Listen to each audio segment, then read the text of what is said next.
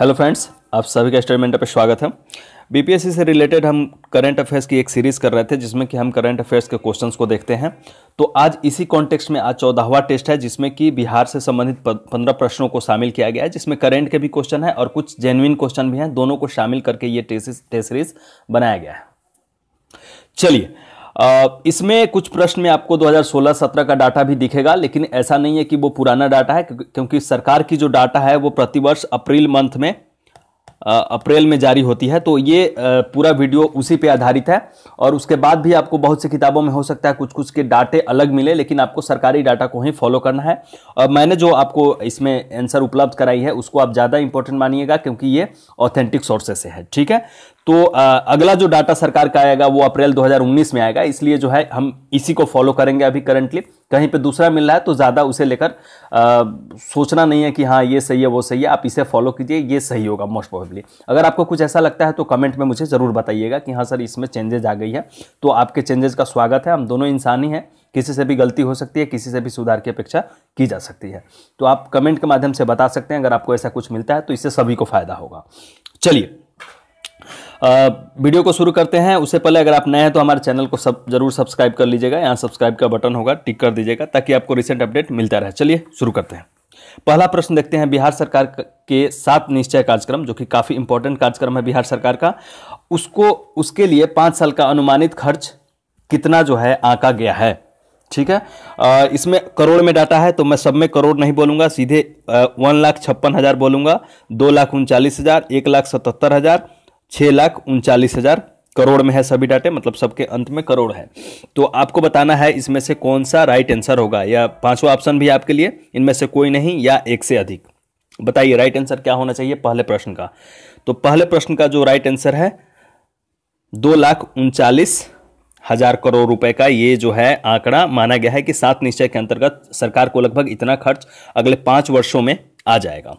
दूसरा प्रश्न देखते हैं। बिहार में रेशम उत्पादन से संबंधित टसर एवं रेशम की इकाइयाँ कहाँ पे स्थित है? ये जेन्युइन प्रश्न है मतलब हमेशा से इंपॉर्टेंट रहा है। दो तीन बार ये बीपीएससी में आ भी चुका है, इसलिए इसे मैंने शामिल किया था।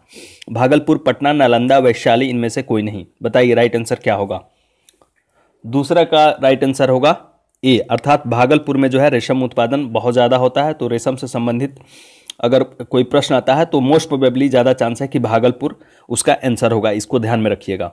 तीसरा प्रश्न देखते हैं। बिहार में कहाँ टेक्सटाइल एवं हैंडलूम हैंडलूम पार्क की स्थापना की गई है?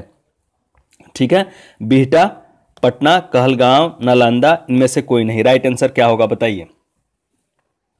तीसरे का जो राइट आंसर है, वो है कहलगांव। अब कहलगांव कहाँ है? ये मैं नहीं बताऊँगा, ये आपको नीचे कमेंट में बताना है कि कहलगांव बिहार के किस ज़िले में स्थित है। क्योंकि इससे जो है, आप थोड़ी सी खोजबीन भी करेंगे और उसके बाद मैं वैसे आंसर दे दूँगा, आज शाम में ही आंसर दे दूँगा, लेकिन आपको भी बताना है, मैं भी आंसर में आपको प्रोवाइड कर दूँगा कि कहलगांव किस ज़िले में है। कमेंट के माध्यम से आप सब बताइए, कहलगांव कहाँ है? चौथा प्रश्न देखते हैं, बिहार में काटी बिजली उत्पादन निगम लिमिटेड कितनी बिजली उत्पादित हो रही है? वर्तमान में इससे कितना जो है मेगावाट उत्पादन हो रहा है? 320 मेगावाट 220 मेगावाट, चार सौ इकहत्तर मेगावाट 380 मेगावाट, इनमें से कोई नहीं। बताइए, चार का आंसर क्या होना चाहिए? तो चार का जो आंसर है वो है 220 मेगावाट। अब इसमें एक चीज़ ध्यान रखिएगा कि कांटी बिजली उत्पादन निगम अगर पूछ दे कि हाँ ये बिहार के किस ज़िले में स्थित है तो इसका आंसर मैं बता देता हूँ। ये मुजफ्फरपुर ज़िले में है, ठीक है? तो मुजफ्फरपुर याद रखिएगा, ये मुजफ्फरपुर ज़िले के अंतर्गत आता है और यहाँ पे जो उत्पादन है वो है 220 मेगावाट का वर्तमान में।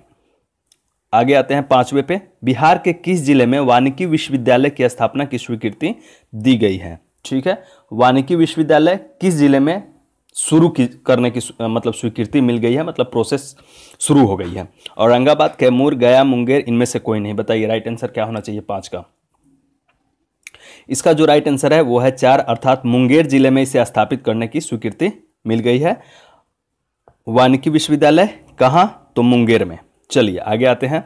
बिहार में न्यूनतम प्रति व्यक्ति आय किस ज़िले की है? बहुत अच्छा क्वेश्चन है। इसको देखते हैं। न्यूनतम प्रति व्यक्ति आय पूछा गया है। मैक्सिमम पूछा जाता तब तो, तो आप आराम से बोल देते कि हाँ पटना होना चाहिए।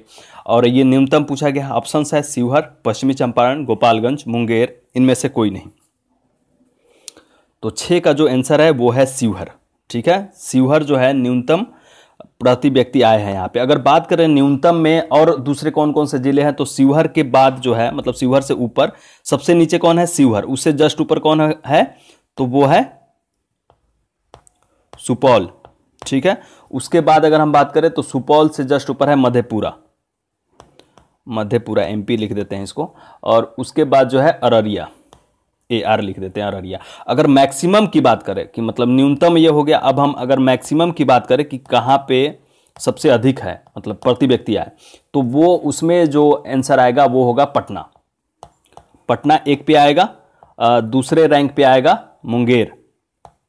ये ध्यान में रखिएगा। तीसरे पे आता है बेगूसराय बीजी लिख देते हैं बेगूसराय, और उसके बाद आएगा भागलपुर। बीजी इसको भी लिख देते हैं। भागलपुर, ठीक है? तो ये याद रखिएगा, क्रम वैसे क्रम में ज़्यादा नहीं पूछेगा, लेकिन एक दो याद रखिएगा, पटना, मुंगेर अधिकतम में याद रखिएगा और न्यूनतम में याद रखिएगा, शिवहर एंड सुपौल, यही दो बस याद रखिएगा तो आपका काम हो जाएगा, ज़्यादा वो नीचे नहीं जाएँगे, दूसरे क्रम तक ही पूछेंगे तो इसको आप लोग ध्यान में रखिएगा। सातवां प्रश्न देखते हैं, वर्ष 2016-17 में बिहार राज्य पुल निर्माण निगम का शुद्ध लाभ कितना था? ठीक है? चूँकि ये सरकारी डाटे अप्रैल में आते हैं तो 2016-17 का डाटा 2018 के अप्रैल में आया है। तो 2017-18 का जो डाटा है, वो 2019 में आएगा। तो इसलिए ये उसी पर आधारित प्रश्न है। तो इसलिए कंफ्यूज नहीं होना है कि पुराना डाटा है, ठीक है? चलिए ऑप्शन देखते हैं। उनतीस करोड़ रुपए, अड़सठ करोड़ रुपए, सौ करोड़ रुपए, पाँच करोड़ रुपए, इनमें से कोई नहीं। चलिए, जो राइट आंसर है, वो सात का क्या है? तो दो होगा, अड़सठ दशमलव आठ करोड़ रुपए। अगला प्रश्न देखते हैं। मार्च 2016 में बिहार में रेल घनत्व अर्थात कुल रेल रूट प्रति हज़ार वर्ग किलोमीटर कितनी थी? ठीक है? चालीस, उनचालीस दशमलव छः बत्तीस, तेईस, इनमें से कोई नहीं। बताइए राइट आंसर क्या होना चाहिए? आठ का जो राइट आंसर है, वो है दो, उनचालीस दशमलव छः रेल घना तो जो है, प्रति हज़ार में पूछा गया है वर्ग किलोमीटर में। तो इसको याद रखिएगा, उनचालीस दशमलव छः है, किलोमीटर। ओके? आगे आते हैं। नौ नंबर देखते हैं। मार्च 2016 में बिहार में प्रति लाख आबादी पर रेल रूट मार्ग, अर्थात रेल घनत्व, कितनी मानी गई है?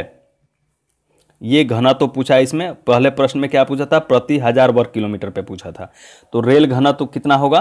तो ऑप्शन है four point nine kilometre, zero point nine kilometre, one point two kilometre, zero point zero eight kilometre. इनमें से कोई नहीं। नाइन का आंसर बताइए। Four point nine kilometre. Rail का घना तो जो है प्रति लाख आबादी पर कितना है? तो फोर पॉइंट नाइन किलोमीटर। अगला देखते हैं दस नंबर। देश में रेल मार्ग में बिहार का हिस्सा कितना प्रतिशत है? 4.1 प्रतिशत मतलब राष्ट्रीय स्तर पर पूछा गया, इसको ध्यान रखिएगा। 4.1 प्रतिशत 5.6 प्रतिशत 2.1 प्रतिशत 0.91 प्रतिशत, और इनमें से कोई नहीं।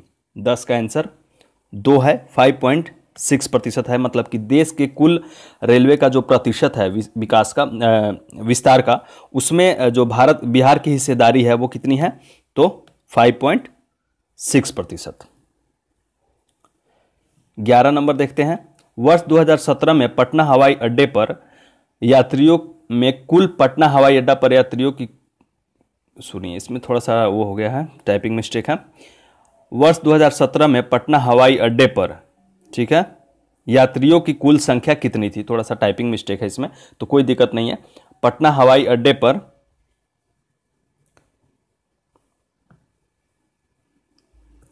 पटना हवाई अड्डे पर यात्रियों की कुल संख्या पूछा गया है। यात्रियों की कुल संख्या कितनी थी? ठीक है?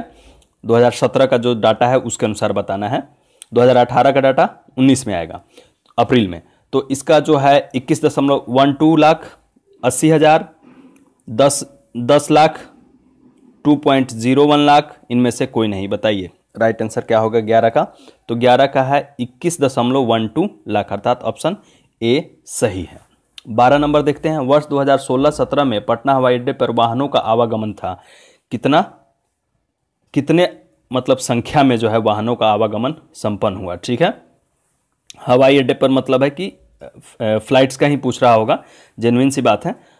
तो आ, पहला ऑप्शन देखते हैं पंचानवे सैंतालीस मतलब कि नौ हज़ार पाँच सौ सैंतालीस और दूसरा है दस हज़ार तीन सौ उनहत्तर तीसरा है नौ हज़ार नौ सौ चौथा ऑप्शन है पंद्रह हज़ार पाँच सौ आठ और इनमें से कोई नहीं। बताइए बारह का आंसर क्या होना चाहिए? बारह का जो आंसर है वो है पंद्रह हज़ार पाँच सौ आठ। ये जो है राइट आंसर है। इतने जो है फ्लाइट्स आए गए 2016-17 में ठीक है? आ, अगला प्रश्न देखते हैं तेरह नंबर। वर्ष 2017 में बिहार में टेलीफोन कनेक्शन की संख्या कितनी थी? ठीक है? तो six six, seven point one four lakh मतलब सड़सठ लाख, एक सौ बाईस लाख, आठ सौ उनचास लाख, एक करोड़ उनसठ लाख, इनमें से कोई नहीं। तेरह का आंसर बताइए। तेरह का आंसर है तीन मतलब कि आठ सौ उनचास लाख। इतने जो है कनेक्शन 2017 के डाटे के अनुसार थी। चौदह नंबर देखते हैं। वर्तमान में जीएसएम मोबाइल कि सबसे अधिक ग्राहक बिहार में किस कंपनी से संबंधित है? मतलब कि सबसे अधिक G M S G S M जो फ़ोन होता है, उसके जो है मतलब मोबाइल फ़ोन, उसके सबसे अधिक ग्राहक किस कंपनी के हैं? B S N L Bharti Airtel Reliance telecom Idea इनमें से कोई नहीं। चौदह का आंसर जेनविन सी बात है एयरटेल बिहार में सबसे अधिक तो यही यूज़ होती है। अगला देखते हैं। हाँ अगला प्रश्न है पंद्रह नंबर। बिहार में कौन सी टेलीकॉम कंपनी सबसे अधिक राजस्व का संग्रहण करती है? मतलब कि सबसे अधिक राजस्व किस कंपनी को प्राप्त होता है? ऑप्शन है आइडिया, भारतीय एयरटेल, रिलायंस, टाटा टेलीकॉम। इनमें से कोई नहीं। बताइए, राइट आंसर क्या होना चाहिए? तो इसका भी राइट आंसर बी है, अर्थात भारतीय एयरटेल। भारतीय एयरटेल जो है सबसे ज़्यादा बिहार में प्रयोग की जाने वाली कंपनी है तो इसलिए जो है इसका राजस्व सबसे अधिक है। तो आज के लिए बस इतना ही। फिर हम लोग मिलेंगे जल्द ही अगली वीडियो में, जो कि पंद्रह नंबर होगा टेस्ट। ठीक है, मिलते हैं हम लोग अगली वीडियो में।